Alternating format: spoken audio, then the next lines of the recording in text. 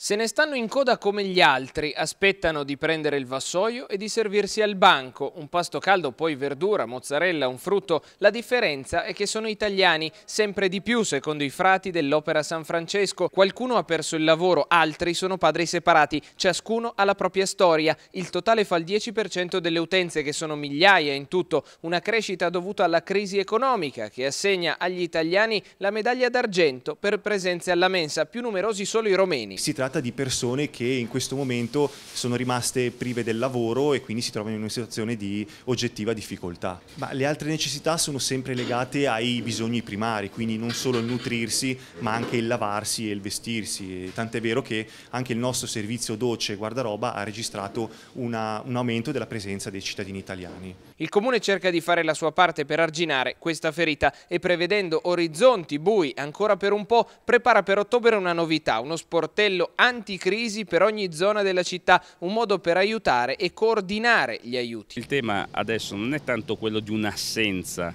di strumenti di sostegno al reddito, quanto spesso di una mancata anche conoscenza da parte dei cittadini. Allora noi vogliamo accompagnare, aiutandoli anche dal punto di vista psicologico, le persone più deboli a riuscire ad emergere, a riuscire a provarci e ci rivolgiamo, a, a, ci rivolgiamo proprio a quelle persone, a quelle famiglie che fanno parte della cosiddetta galassia dei nuovi poveri, cioè coloro che magari prima erano in condizioni di normalità e oggi sono in condizioni di povertà e si trovano in condizioni di povertà da un mese all'altro.